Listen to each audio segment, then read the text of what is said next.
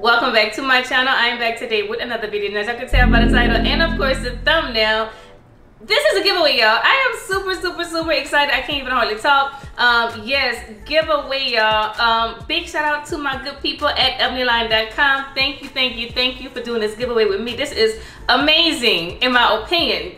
Amazing. I have been working with Ebonyline for about i don't even know how long. It's been a while y'all great experience great company. They have the newest and even the oldest wigs so so first of all let's talk about the wigs that we will be winning y'all. We have two from Sensationnel one is the newest bob the newest butter unit bob 12 from Sensationnel and this is her on my head. I'm gonna give y'all a little close-up and everything about what she is looking like. And of course we have another new one and this one is from Sensationnel also. This one is called Kimora and she is super pretty y'all. I mean the color and everything looks amazing. And the last one we have is from Janet Collection.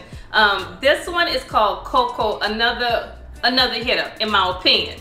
But um, yeah, first of all, in order to win this, we have just two simple things y'all need to do. You need to follow me on my YouTube channel, Fee-Bee Rome, right up in here, y'all. And of course, the YouTube channel of ebonyline.com, and I will leave that in the description box below too. Um, also, Follow me on Instagram and follow ebonyline.com on Instagram too. Definitely go ahead and do that and you are going to be eligible to win.